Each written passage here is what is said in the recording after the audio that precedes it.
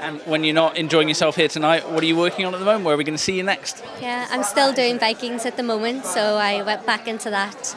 Um, so we're currently filming season four. We're right in the midst of things, and yeah, it's been it's been amazing, and looking forward to seeing Therese back on the screens again, uh, causing a bit more mischief, hopefully.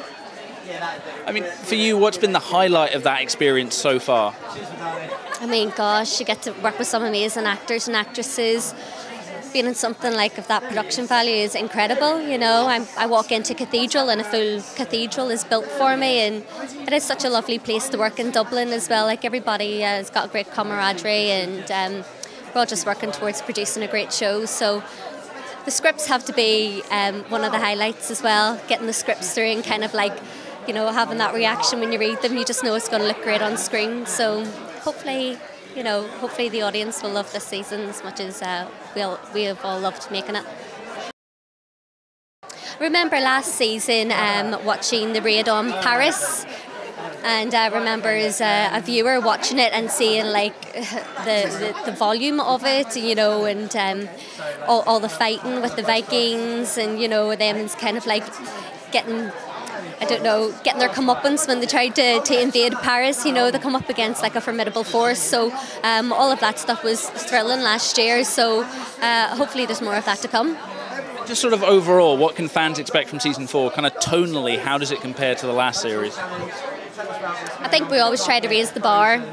Um, so last year, I think definitely raised the bar, especially with all of the uh, landed in Paris. And um, yeah, we've definitely tried to do that again this year. I've I've seen a few of the other cast members, um, little snippets on screen, and uh, yeah, they're, they're pretty amazing. So I know that the audience are going to like them.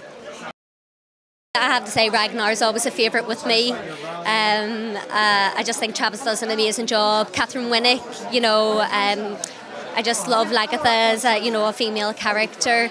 It's something that I would love to play, you know, and she just does an amazing job. And obviously Clive Standen's so lovely as well, playing Rollo, and uh, you know he steps out on his own this season. So um, yeah, we follow all of the different characters and um, how they've all branched off from this little core cast that you've seen in um, season one.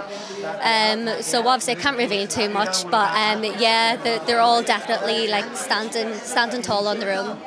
A final question: Do you have a message for Vikings fans before you leave us to go and enjoy yourself tonight? Um, vive la France!